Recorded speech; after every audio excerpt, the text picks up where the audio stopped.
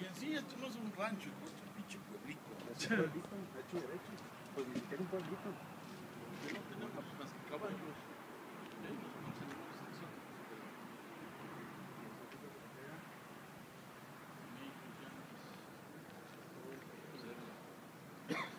Y los tienen como por aquel lado.